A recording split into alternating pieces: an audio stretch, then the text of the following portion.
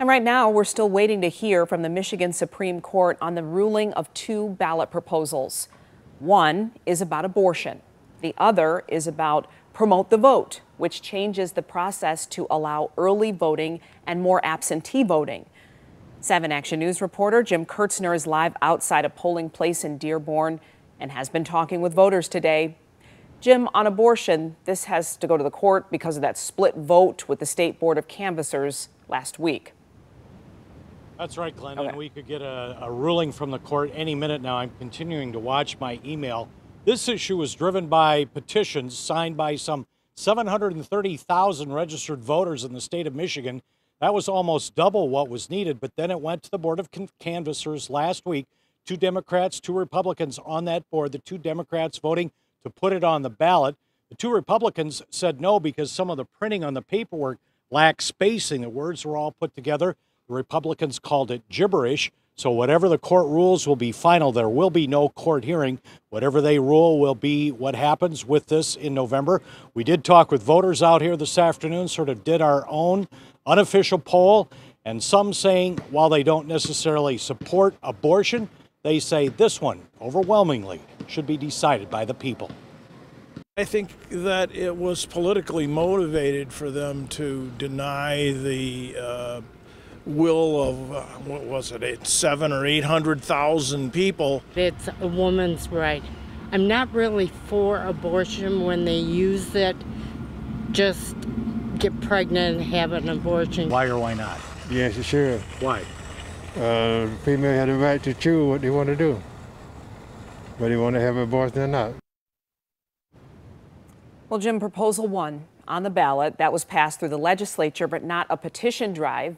So it would do two things. It would change the term limits for people elected to the legislature and require financial disclosures. Who would be required to comply? Yeah, this one's already locked in, and this applies to the governor, lieutenant governor, secretary of state, attorney general, any of their top appointees, and people running for the legislature. Uh, two states in the union do not have this Idaho and Michigan. They would have to comply if this passes, passes in November by voters.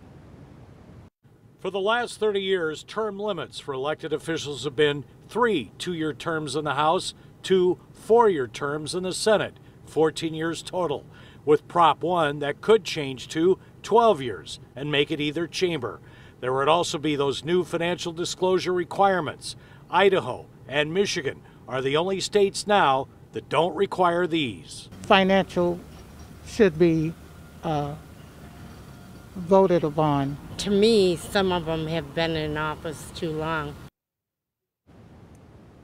Looking at Promote the Vote, Jim, it would make voting easier if the state passed that. That would appear to be a good thing, but what is the feeling among voters?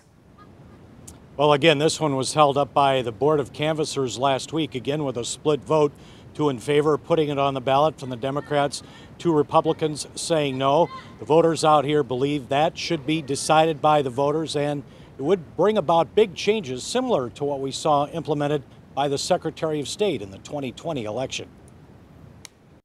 If on the ballot and approved in November, future elections would be vastly different. There would be nine days in person early voting. Military and overseas ballots sent in would be counted if received by Election Day. State funded absentee ballot drop boxes would be set up and postage paid by the state to mail in absentee ballots. Voters could apply for absentee ballots once for all elections. All right, Jim. Well, thank you for keeping us updated. We appreciate your insight there. No, we're still watching. We'll let you know when we get the word.